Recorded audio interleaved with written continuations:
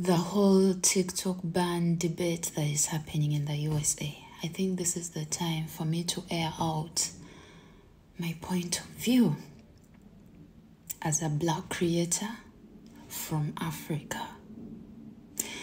I have two things one very good one, and also one very bad one that I have experienced as a creator on TikTok. First and foremost, TikTok has helped me be able to be creative. And I know everyone says this, but I can't comprehend the amount of creativity that has been enhanced through using this app that has been so hard with the other social media platforms. One thing about this TikTok app, if you are creative about your art, you're gonna find the people that love you for that. It's gonna reach to audiences that you could never have reached using the other app.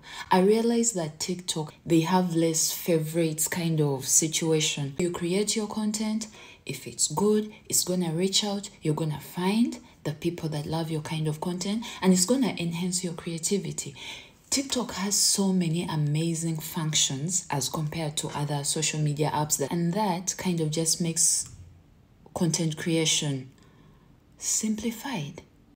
And you find that because the app has all these beautiful functions, other apps are now trying to bring those beautiful functions as well. And my question is all this time you could do that, but why weren't you doing it for your creators. It also comes to the creator fund and all that kind of stuff that TikTok gives. And then the other apps also start to give that besides YouTube. Let's say Instagram starts to do the same thing. And once the debate starts, they're like holding that off, the Reels fund. And that just rounds up to the concept of selfishness people are using these apps people are investing money to use these apps by the way data is not for free and then the little you can do to give them back, you want to take it away. So that's why I love TikTok. And that leads me to the second point. African creators gather. I want you to tell me I'm from Uganda and we do not benefit financially when it comes to the creator fund in either apps. This just astonishes me. Africa being a huge continent, there are so many people that use these social media platforms. But when it comes to the point of benefiting, it's like they do not consider Africa. It's like the creators there do not create content enough to be able to benefit from these apps financially.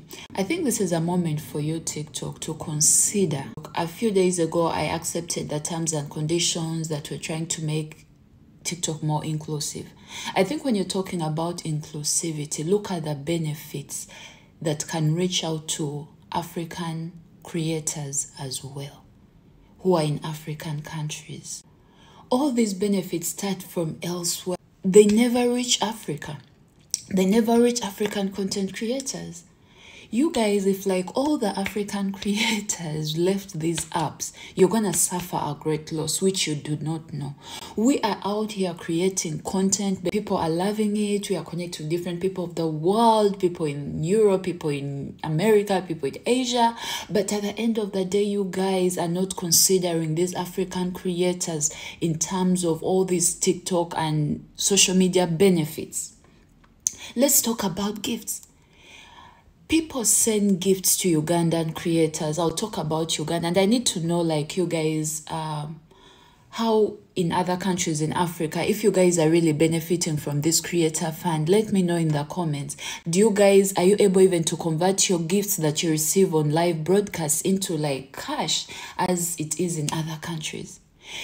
You guys give PayPal as an option for someone to do their transactions, but, but you don't first find out that is even this kind of payment method available to the creators in that country. There are options like Airtel Money, there are options like MTN money. You could use that. I think it's time as African creators also let's stand up and also speak the things that kind of press us down from using these apps. We are so many people in Africa. Maybe the owners of these social media platforms still think that Africa is a country. Do not feel at a disadvantage if the creators all left these apps and stop using. Africa is a continent. It's the second biggest continent in the world. It has huge consumers. It has huge users. There's so many people that use and influence great influence on these apps. And it's high time you guys put into consideration. Just don't talk about inclusivity as a word.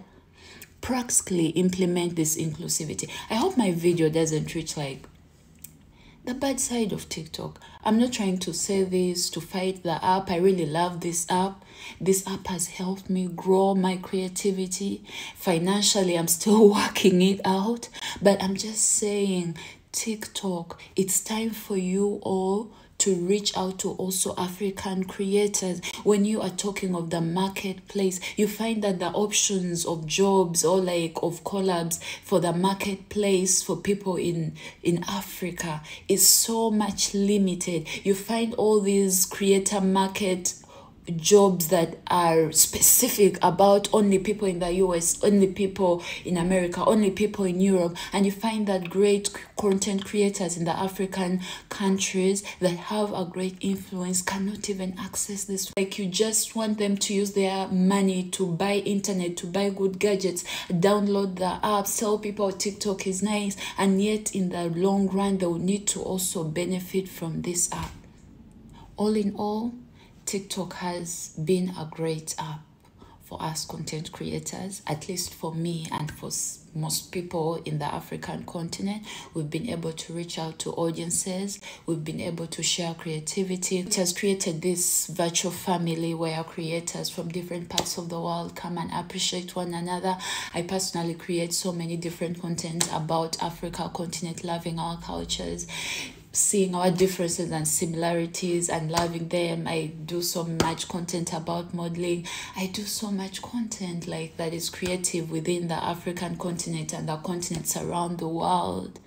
And in case TikTok is banned because I'll be in the US in a few, please come follow me on YouTube and let's keep vibing.